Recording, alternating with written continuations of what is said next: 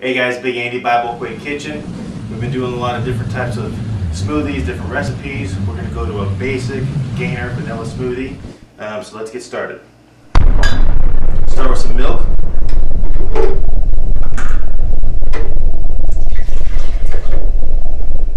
A little sugar.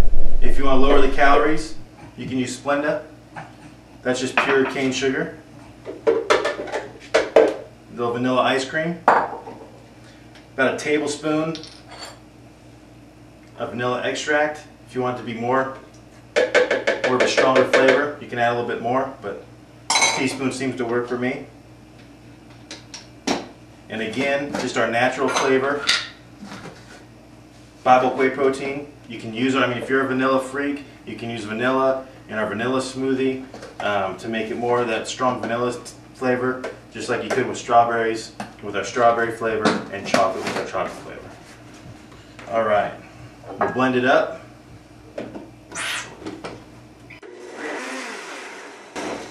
All right, again, vanilla gainer smoothie.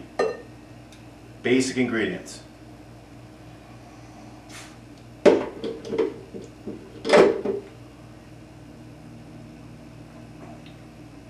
That's good. That's really good.